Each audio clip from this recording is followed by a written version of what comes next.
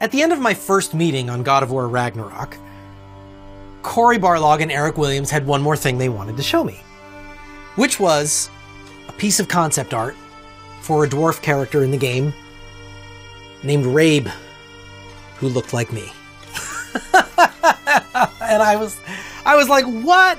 That's really cool that I get to be in the background in some scene, I guess. There'll be an NPC back there." And they said, "No, we want you to be this character."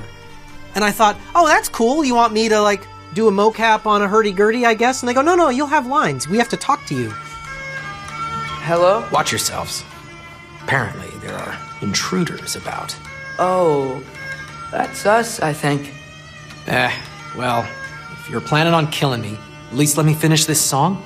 That alarm was in just the perfect key. And I realized I really get to be this character.